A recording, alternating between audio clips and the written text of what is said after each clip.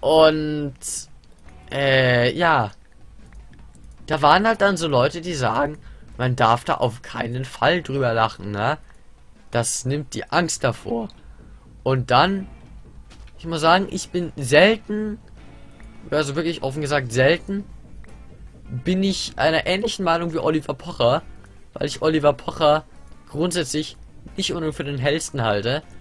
Aber wenn dann Oliver Pocher sagt, ähm, ja, man sollte sogar über dieses Thema lachen, weil es, wenn man etwas ins Lächerliche zieht, nimmt es die Angst davor.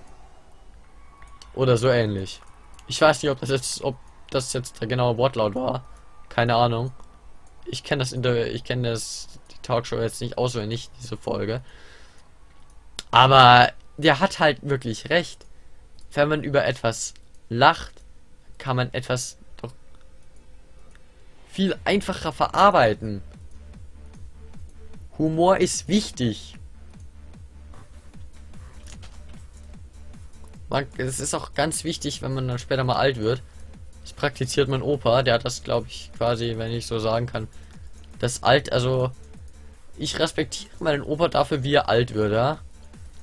Er sieht's halt mit Humor. Er akzeptiert, dass es nicht mehr so geht wie früher, nicht alles, ja.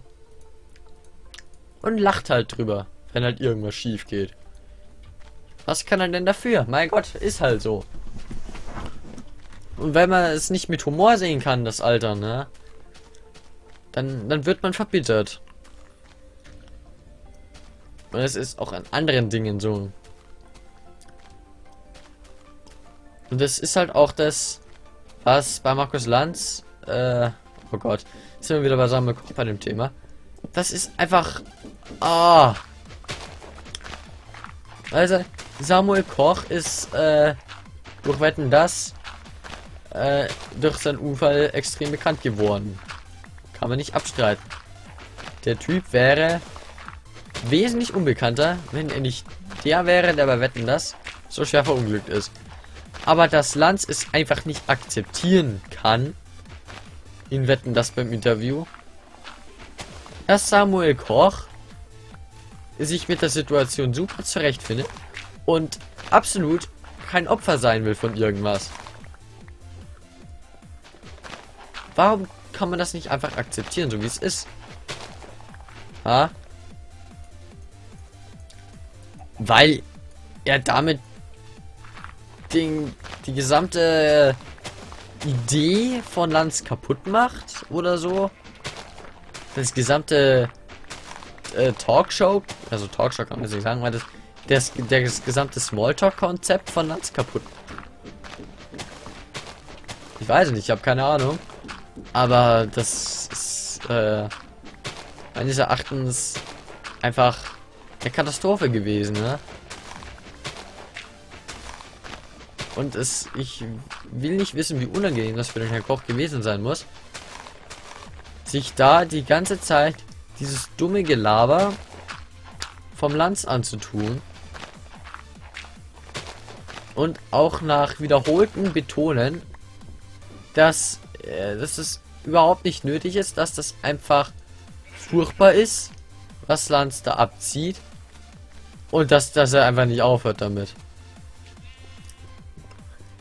Das, also, ich weiß nicht, aber da, da, er muss einen so furchtbaren Fremdscham verspürt haben für das Verhalten von Lanz. Das ist, das will ich gar nicht wissen. Also in so einer Situation möchte ich wirklich uh, ungern in der Haut von Betroffenen stecken, die halt wirklich da total missinterpretiert werden von den Rollenherren. Und ja, wie, das ist halt so, dass man muss sich halt mit den Sachen abfinden und dann ist das gut. Wenn man das nicht schafft, dann wird man verbittert. Und darauf hat, äh, hat Lance wahrscheinlich in dieser Situation spekuliert. Weil natürlich war das, es muss das ein herber Einschnitt sein. Ja, auf einmal live vor laufender Kamera sich einen Querschnittslähmung zuzuziehen Ja, das ganze bisherige Leben ist dann quasi so erstmal gelaufen. Aber hey, es muss doch weitergehen.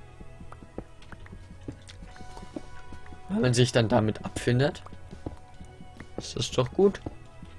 Da muss man das auch als, als Moderator von irgendeiner Sendung akzeptieren, dass das jetzt so ist und nicht einfach stur versuchen, das Ganze tragisch hochzuspielen. Wie schlimm das doch jetzt ist, ne?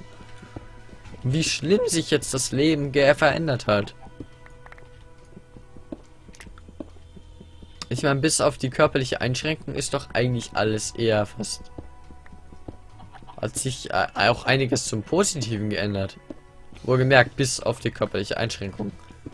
Das darf man jetzt nicht vernachlässigen. Er kann sich nicht mehr so bewegen wie früher. Er sitzt im Rollstuhl. Aber er hat dadurch Filmrollen gekriegt. Wie zum Beispiel bei Honig im Kopf. Ohne den Unfall, das wette ich mit euch, hätte er wahrscheinlich nie die Möglichkeit gehabt, in solchen Produktionen mitzuspielen. Und das muss man halt einfach auch mal berücksichtigen, dass sich hinter jedem, hinter allem, was passiert, sei es auch auf den ersten Eindruck, noch so furchtbar, noch so einschneidend, dass man, dass sich dahinter auch eine Chance verbirgt, die man halt einfach nutzen muss. Und man kann sagen, was man will. Samuel Koch hat diese Chance genutzt und ist jetzt, wie man im Wetten das gesehen hat, ein glücklicher Mensch.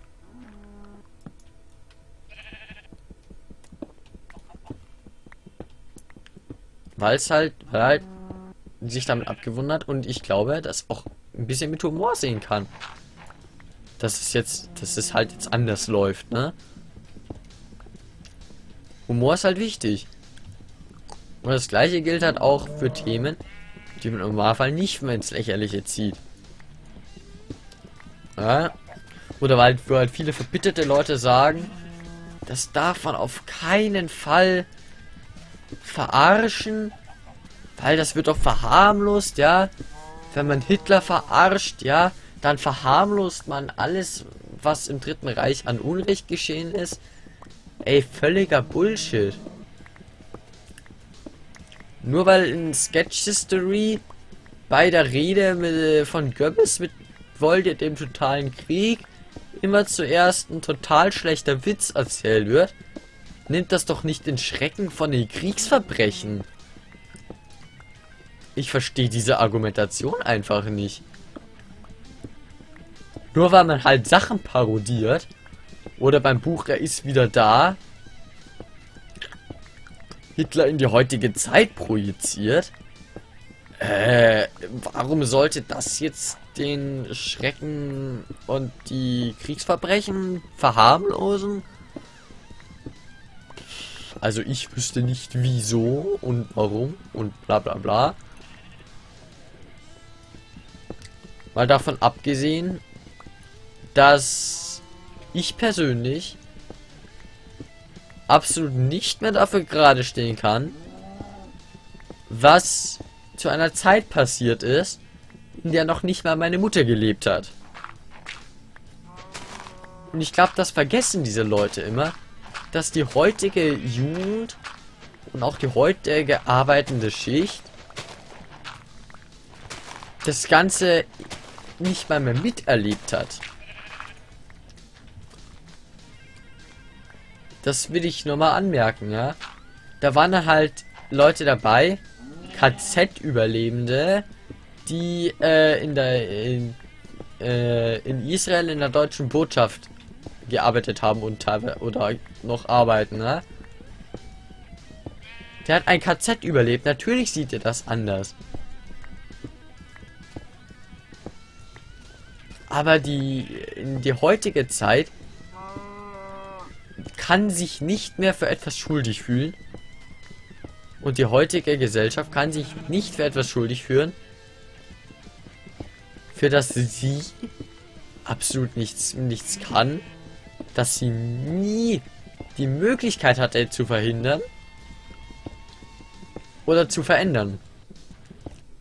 Das ist Geschichte.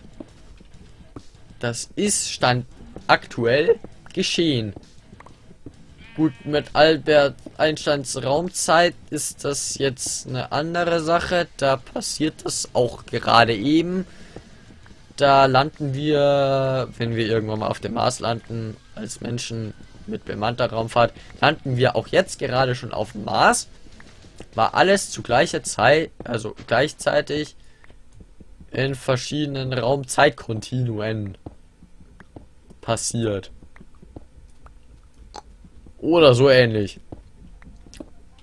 Ne? Wenn man so sieht, können wir was dafür, auch wenn wir dann trotzdem da nicht leben. Wenn's, weil es ja zeitgleich passiert, ne? Nur halt an einem anderen Ort in der Zeit. Ich glaube, so ist es einigermaßen verständlich formuliert. Aber man versteht es immer noch nicht. Das ist toll. Ähm, aber wir können nicht ich persönlich kann nicht für etwas gerade stehen, mit dem ich nichts zu tun habe, außer dass ich in dem Land lebe, was aus diesem Staat, der das verbrochen hat, entstanden ist.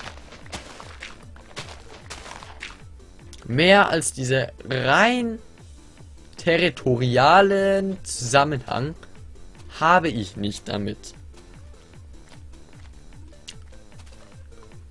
Und klar, der Geburtsort und äh, das Geburtsland entscheidet über vieles im Leben, ja. Wenn ich in Afrika geboren worden wäre und in Afrika wohnen würde, im Dschungel, in Nigeria, hätte ich zwar was den Lebensstandard und die Lebensbedingungen beträfe, die Arschkarte gezogen. Dafür müsste ich nicht für das, äh, für das Dritte Reich in Anführungszeichen gerade stehen. Ja. Aber wir Europäer, also das heißt wir Deutschen, wir Deutschen müssen ja nicht eigentlich, wenn man so sieht, nicht auf das Dritte Reich gerade stehen, ja. Wir müssen auch für unsere Kolonien, die wir in Afrika hatten, gerade stehen. Aber das wird da total vergessen. Und wenn man das dann so weiter projiziert, ja, dann haben alle anderen Völker in Europa genauso viel Dreck am Stecken wie wir genauso viel. Die Russen haben zwar nicht so viel Kolonialpolitik in Afrika betrieben und da die Völker ausgebeutet, dafür hatten sie dann oder haben sogar immer noch Zwangsarbeitslager zu unmenschlichen Bedingungen. Ah? Machen wir uns nichts vor. Das passiert auch immer noch. Oder China. Ha? Wir haben alle Dreck am Stecken. Aber das Ganze hat einen wesentlichen Unterschied. In Frankreich zum Beispiel redet man darüber einfach nicht. Hey, da sagt, kann man, da sagt man auch, hey Leute, die Kolonialzeit ist vorbei. Da können wir jetzt nichts mehr für. Damit haben wir nichts mehr zu tun. War scheiße, aber hey, lass doch die Vergangenheit die Vergangenheit sein. Wir lernen daraus. Wir annektieren nicht mehr einfach so irgendwo Gebiet. Außer vielleicht im Weltraum. Und zerstören damit so ziemlich alles, was da jemals war.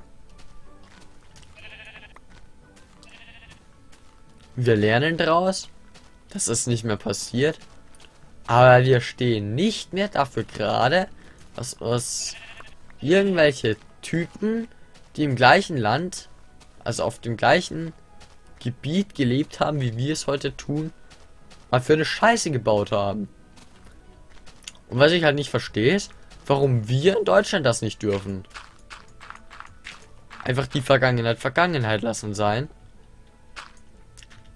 Sollen wir uns immer noch dafür rechtfertigen und entschuldigen sollen, was vor 70 Jahren war. Bis 5, ist, ist das 70 Jahre her? Ich weiß nicht.